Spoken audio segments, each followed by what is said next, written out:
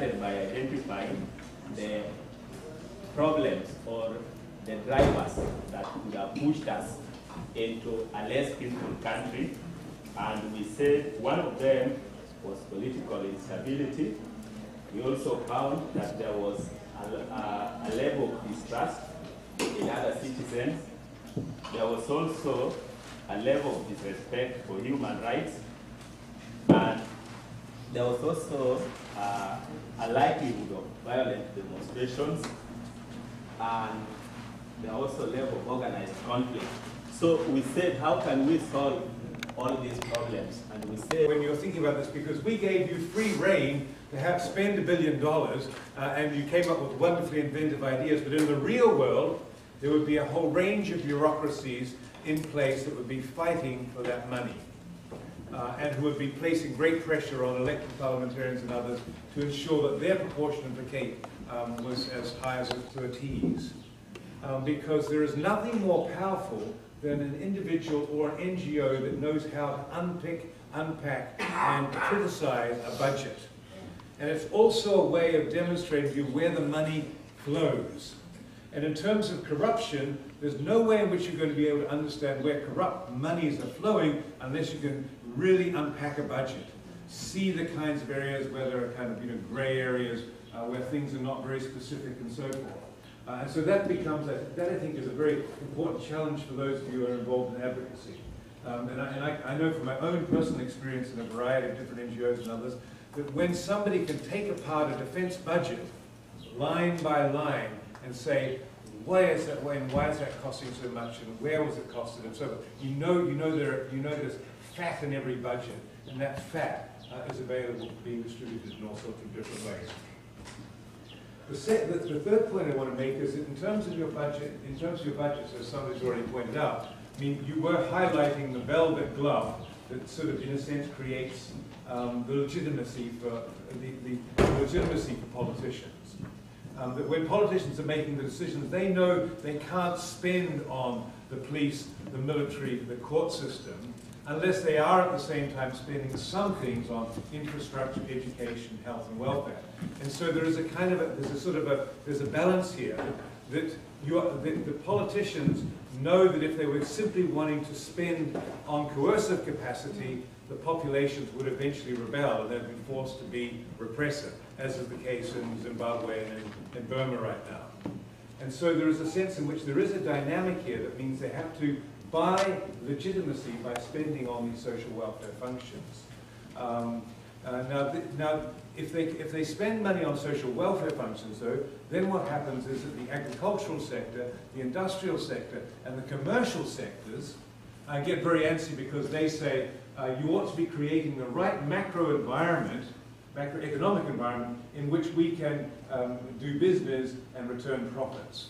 So the private sector, insofar as it exists, or the subsistence sectors or the agricultural sectors, become really crucial players in budgetary processes because each one of them wants the government to create the right macro conditions for their own profitability.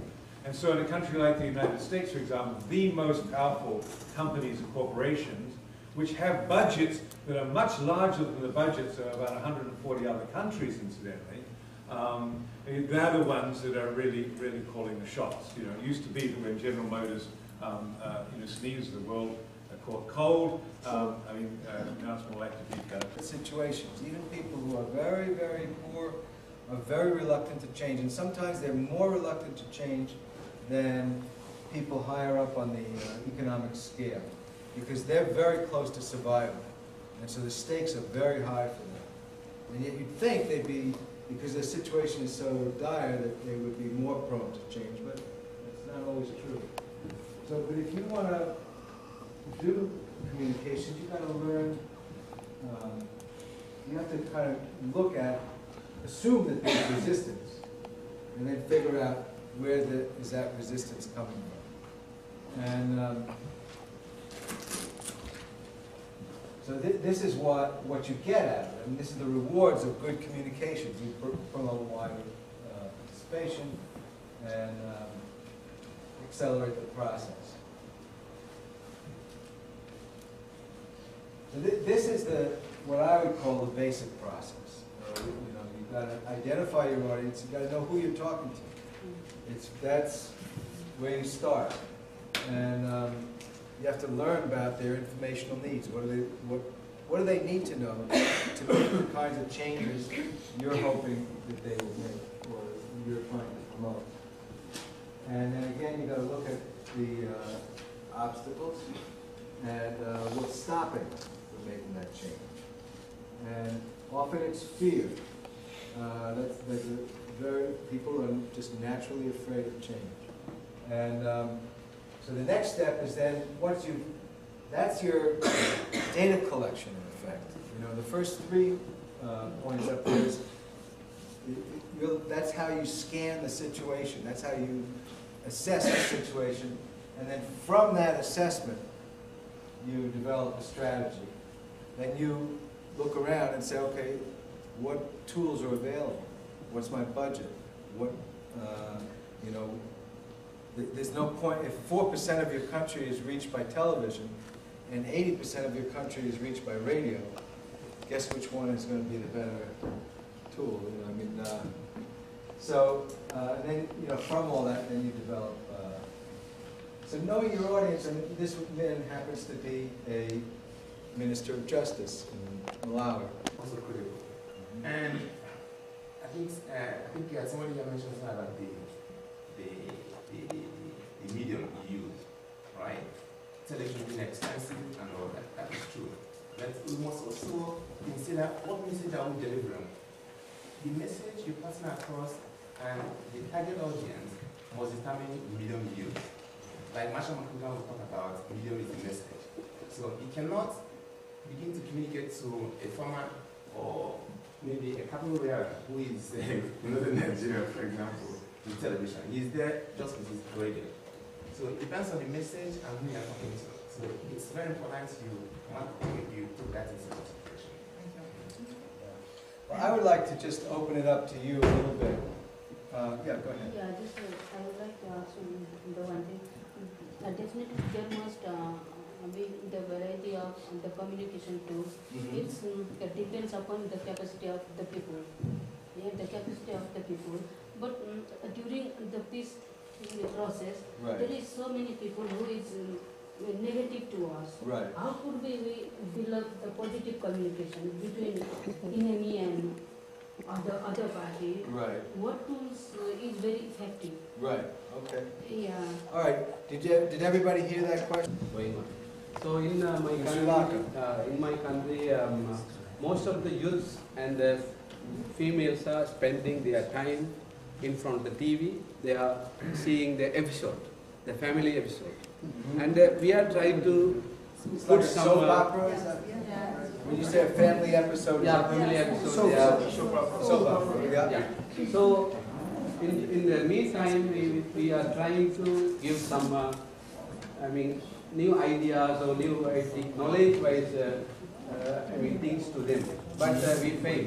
What is your advice for this uh, in the situation? How can we, How can you improve it? yeah, What, well, you know, not having seen it, can you give me a hint about why you think it failed?